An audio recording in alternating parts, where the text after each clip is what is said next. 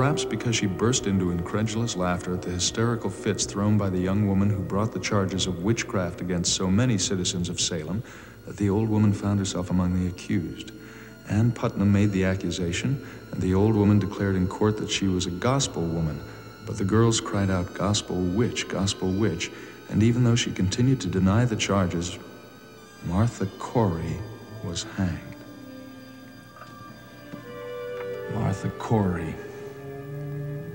It is her.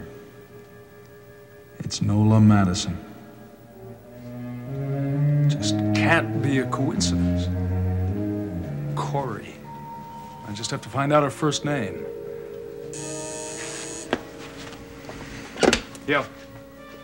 Who? All right, put him on. Hello. Oh, uh, uh, hello, uh, Dr. Cavanaugh. Uh, this is Cliff Nelson from the DA's office. What can I do for you, Mr. Nelson? Well, you can't do anything for me, but I'm over at Deborah Saxon's place, and she's in real bad shape. What's wrong? She have another fainting spell? No, no, no. She's, she's conscious, but she's, well, she's just in real bad shape. I mean, she's standing, laying there, uh, shivering and, and, and looking at the ceiling, and, and it scares me to death. All right, you stay with her, Mr. Nelson. I'm on my way over. Yeah, yeah, all right, all right. And she's not the only one I'm going to see.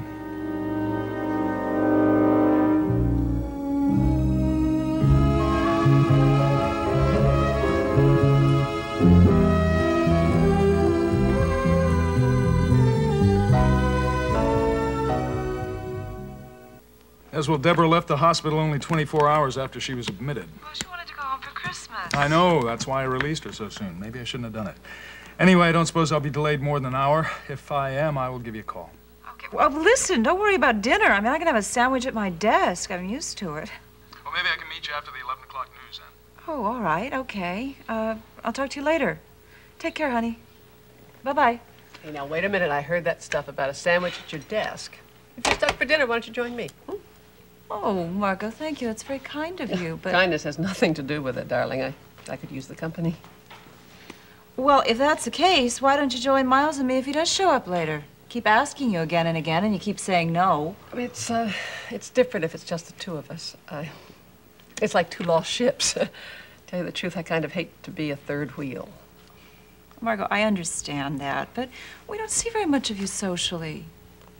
Yes, that's true. I've been kind of limiting my social life. Seems like the only place I ever go anymore is April and Draper's, and I'm not too sure my son-in-law is too fond of that idea. Come on, Margot. I thought the two of you have been getting on very well recently. No, he tolerates me. I mean, he's in a pretty good mood, so he tolerates even those he doesn't like. Well, I wouldn't say that Draper doesn't like you. Nicole, I'm not going to fool myself on that little area. Believe me, um, underneath that polite young man, there's a very angry, snarling dog that'd like to leap out and grab me by the throat. he, he keeps it very well leashed. I think that's because of April. Uh, after all, I am April's mother, and I am his baby's granny to be. Well, uh, I still think that you should widen your horizons. Why? Uh, oh, code, right? It means I should find another fella? Oh, what's wrong with it?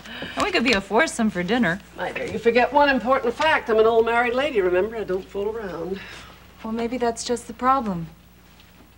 Maybe you should do something definite. I mean, you haven't, have you?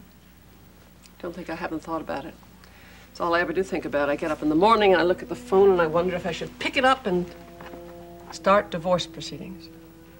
But you don't make the call? No, I, I don't. Margot, don't you feel that that possibly making a clean break would make you feel a lot better? I mean, and you could have a whole new start. Let me tell you something, Nicole. I have wanted a divorce from that man ever since I found out the kind of person Elliot was. It seemed like the best sort of revenge. But revenge shouldn't be. Now, look, don't reason. talk to me about anything philosophical about how I should turn the other cheek or how you shouldn't strike back even though you've been hurt. I don't want to hear it, all right? Even if it's true. I'm not going to lecture you. But I still just don't feel that I understand why you haven't called the. What, stop, started divorce proceedings? That's very simple, darling.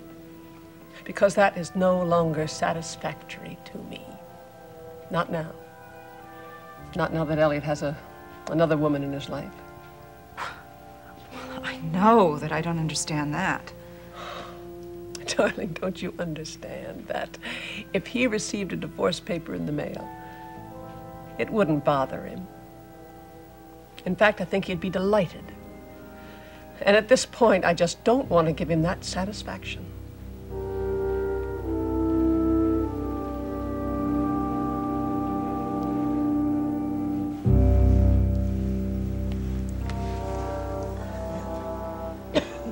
You could give a man a terrible complex, darling. I'm sorry. I, I, I just can't. Well, you can't seem to do is take very much of me. Every time things get a bit too close between us, you shy away. What am I supposed to conclude from that? Nothing, nothing. You know, I do have my personal vanity. Not too many women have pushed me away so strenuously. Not unless they were being coy, of course, and you are definitely not the coy type. Coyness is for the young, Elliot. Doesn't become women of my age. Age? There we have that word again. Well, can't we spend one evening without that word being mentioned? Uh, would you like a drink? Well, the wine I was drinking was from your lips. That's a terrible line, Elliot. Sounds as if it came from one of my worst movies. Why do you allow yourself so few illusions now? I've learned to want reality. Reality. Haven't you heard reality has been banned for lack of interest? Do you want me to be a realistic too and assume that this rejection means what I think it means? And what's that? That you just simply don't feel the way about me that I feel about you. You know that isn't true. Now, what is it? It's just uncertainty, Elliot. Uncertainty, yes. Yes, of course, you still have your feelings uh, for your husband. But why shouldn't you? He's had 25 years head start on me. You're wrong. I have only one feeling for Owen now. I loathe him. Oh, that's a new word in your vocabulary. Well, it's the only word to describe how I feel about him. How was this brought about? I've stopped having illusions, that's what. I know now that there isn't any chance of ever getting back together. Owen's already filed for divorce. In California? That's where we were married. That's where our marriage will end. It's no fault country, so there's no contesting it, you know? Not that I'd want to. Owen is out of my life now, and I'm glad. Well, then. You can make room in your life for someone else, can't you?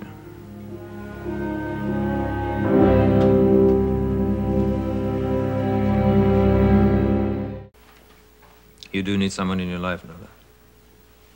So do I. You mean we're both rebound cases? Is that it? Well, that's putting it crudely.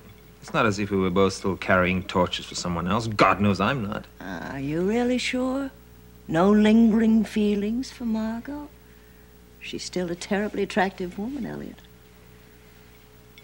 I saw her recently, you know. I, uh, I went back to the apartment to pick up some clothes I'd forgotten.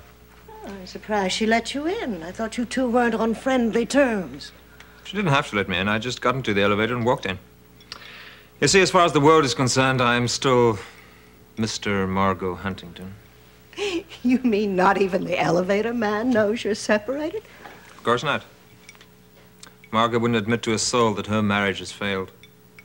Not unless it's absolutely necessary, of course. As in the case of a divorce. What about that divorce, Elliot? She hasn't taken any steps in that direction, has she? No, she hasn't. For some reason. Maybe she thinks she'll get back together one day. oh, there's no chance in the world of that. Hey, listen, if that is your hang-up... Uh, no, no, Elliot, that isn't it. I still can't really believe that. Well, when a man's so much younger than I. Uh, there it is again. The subject never far from your mind. or is there something else bothering you these days, Nola? What do you mean? Well, for the last few days, I've sensed that something else has been intruding on your thoughts. Am I right? I don't even know what you mean. Well, I mean, sometimes when, uh, when I'm with you, you seem to think of anything but us. Do I have a rival? Don't be ridiculous. And then you're so hard to reach, uh, especially during the day. You seem to be away for hours at a time, sometimes the whole day. Where do you go? Out? Not even your maid seems to know where you are. Come on, why can't you tell me? I just go out. I have things to do and people to see. I thought you didn't know anyone in Monticello. And of course, your husband and son are in California. It's none of your business where I go. Sorry, just asking. I was begrudging the time you didn't spend with me. What's the matter? I have a headache. Oh, poor baby. Let me soothe it away. No, please, not now. I'm much too nervous to be touched right now. Elliot, can't you understand? Yes, of course. Perhaps you'd rather I left. I, I think it might be a good idea. I think I'd like to take a nap and refresh myself. Yes, it might be a good idea. Well, uh, see you in the morning. And you'd better be well to see me tomorrow morning. Uh, yes, I'm sure I will be. Pretty flowers. Who sent you these? I bought them myself. Well, the next bouquet you receive will be from me. Good night, darling. Don't bother to show me out.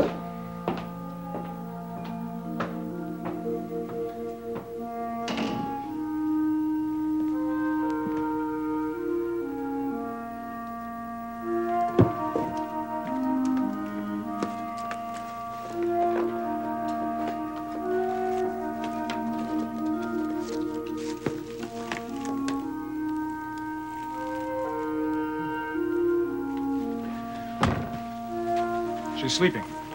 Well, uh, is she gonna be okay? I think so. Wish I could say for certain.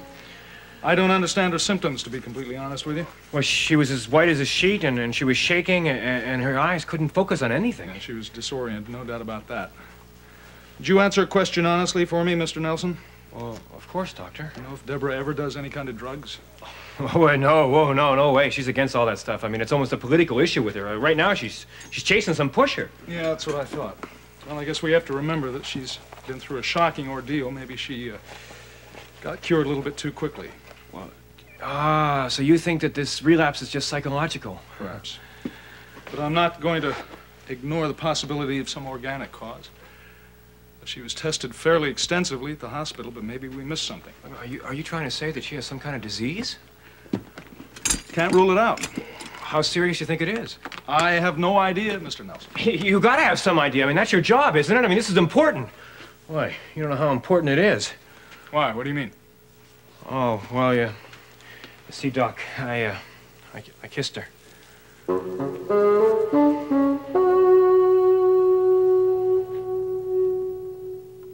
For some reason, she seemed in better shape after that ordeal in the woods than the last time I examined her here. And that seems very odd to me. Well, that would mean that maybe what's ever causing the, her illness is here in the apartment, you know? Like, like maybe she's allergic to something. Well, now that's a thought. Maybe she is. Hey, don't look at me. I'm not here that often. Well, I hope you can stay for a little while at least, in case she needs something. You want me to stay here? Yeah. Yeah, I told you I don't think it's anything contagious. Yeah, but I got things to do, you know? I've got to be in court. Mr. Nelson, you told me you were a friend of Deborah's. well, I am a friend of Deborah's.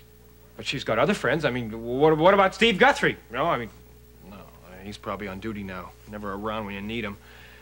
Hey, wait a minute, wait a minute. There's this, there's this old lady who lives across the hall who's always trying to help out Deborah. Yes, I'm very interested in that old lady. As a matter of fact, I was going to pay her a visit myself. Well, good, good. Look, why don't you ask her to come on over, okay? What is that? It's fruitcake. Come on, you know, deck the halls with you know, fruitcake. Deborah said she got it from the old lady. Mrs. Corey? Yeah, yeah, that's her name. Well, I think I'll just take a uh, slice of that myself. And now, look, don't you think you ought to ask Deborah if you can have it? Oh, I don't think Deborah will mind. Stay here as long as you can. Yeah, yeah, right.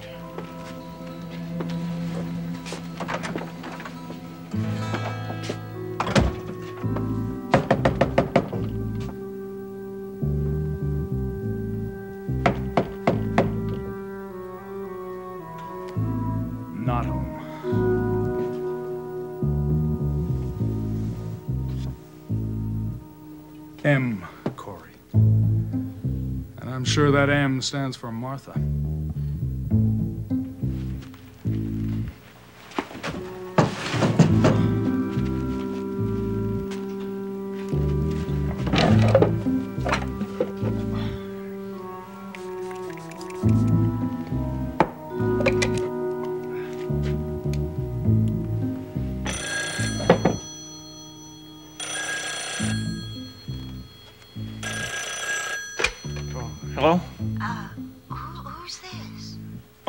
This is me. Who's this? Oh, why, it's Martha Corey. Is is this Deborah Saxon's residence? Yeah, hi, Mrs. Corey. How are you? When are you coming over? I, I beg your pardon? Oh, I'm, I'm, I'm sorry. Uh, this is a friend of Deborah Saxon's, Cliff Nelson from the DA's office. Yeah, she told me all about you and how nice you've been to her. And, uh, well, I'm sure the doctor told you how sick she is now, and I wanted to know when you could come over. I gotta Did get- you say that Deborah's sick again? Well, yeah. Uh, didn't Dr. Cavanaugh see you? I mean, he just went over to your apartment about a minute ago. Oh, but I'm not at home. I, I'm visiting a friend of mine. Um, I just called to see how Deborah was. Well, uh, she's not so hot. In fact, it looks pretty bad. So I hope you can get over here real quick because uh, you can do more for her than I can. Oh, that poor child. Yes, of course, I'll do anything I can for her. But I, I don't know when I can get there. You, you say you called the doctor? Yeah. Uh, yeah, he left about a minute ago. Um, but he said there's nothing contagious, so, so you don't have to worry about it. Oh, that doesn't concern me. I'm far too old to catch anything. but I am worried about that g- poor girl. Uh, sometimes I wonder if there isn't something fatally wrong with her. Wait a minute. Did, did you say fatally? I mean, what kind of talk is that now? You tell Deborah that I called and, And that I'll be there just as soon as I can. Uh, oh, one other thing. Why don't you warm up some of that nice soup I made for? I'm sure there's plenty left over in the refrigerator. Well, I'm really not much of a cook, Mrs. Corey. I, I... Well, all you have to do is heat it up, young man. now, you tell Deborah I'll be there as soon as possible. Yeah, sure. Look, uh, I, I really don't know how, how to. How to...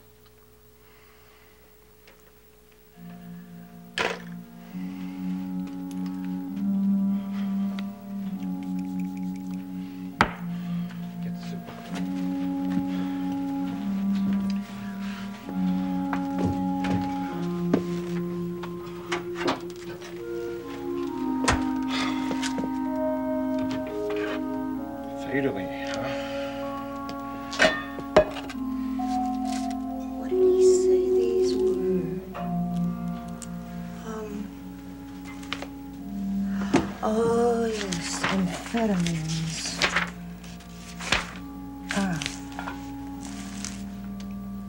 In excessive use, the stimulant effect, which may produce an exaggerated euphoria, is soon followed by a profound and lasting depression. In cases of large overdoses, the result is amphetamine psychosis. These psychotic reactions, which may occur during its use or after withdrawal, are virtually identical to paranoid schizophrenia. That's the next game we play, Deborah.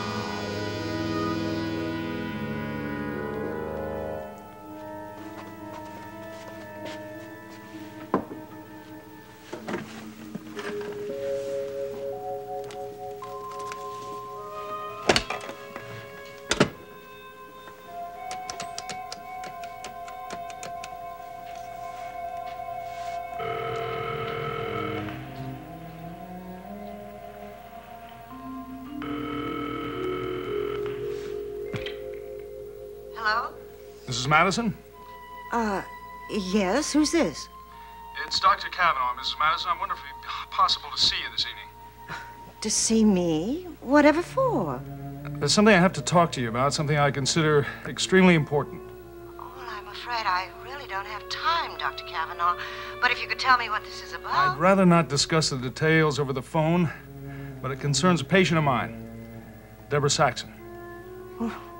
What in the world does that have to do with me? I think you'll understand when we talk about it. Look, I could come over to your place or you could come here. It Really doesn't matter which. Well, I'm sorry, Doctor.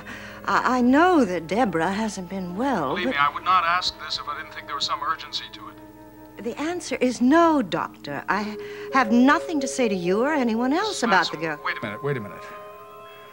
Would it help any if I mentioned another name? What? Even if you're not interested in Deborah? Would you talk to me about a Mrs. Martha Corey?